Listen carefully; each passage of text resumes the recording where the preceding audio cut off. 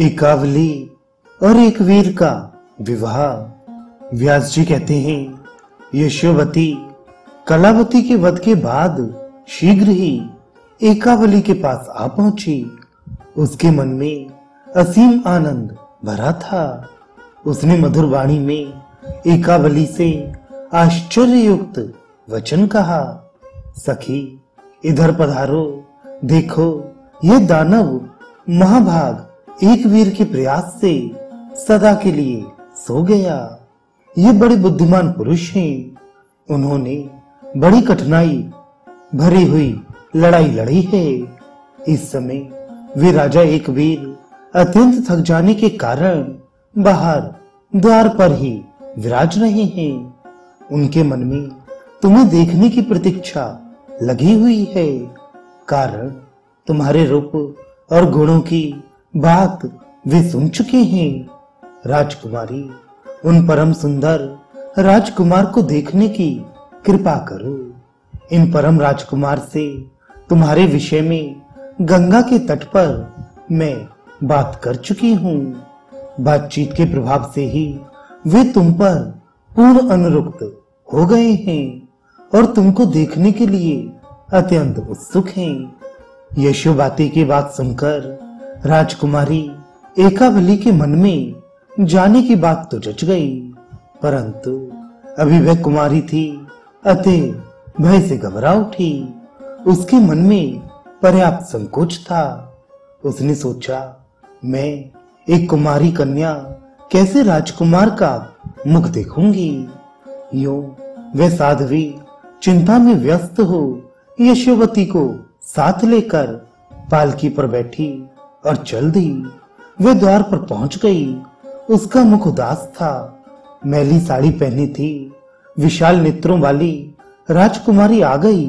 ये देखकर राजकुमार एक वीर ने उनसे कहा, तनवंगी, दर्शन दो।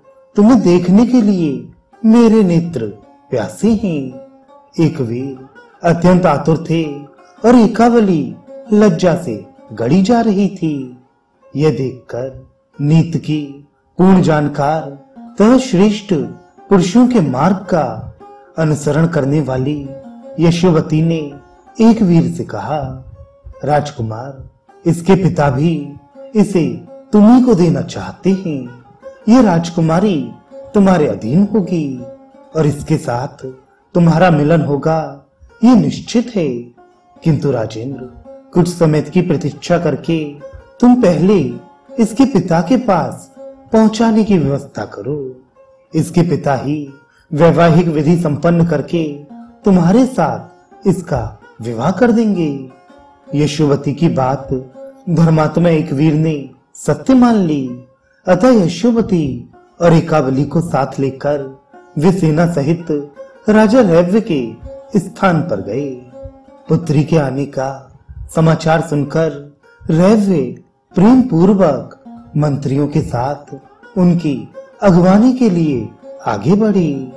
बहुत दिनों के पश्चात मलिन वस्त्र धारण करने वाली वह पुत्री उन्हें दृष्टिगोचर हुई।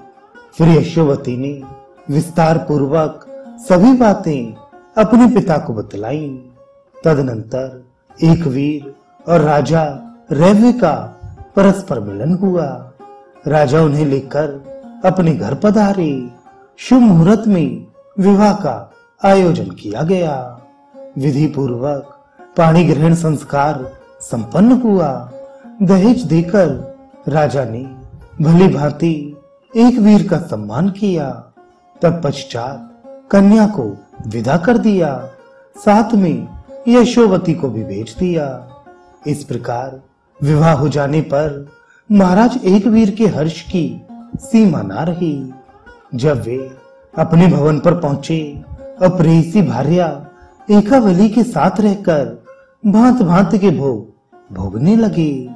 उन्होंने एकावली के गर्भ से एक पुत्र उत्पन्न किया, जो कृतिक पुत्र उत्पन्न किया, जो कृतवीर नाम से विख्यात हुए।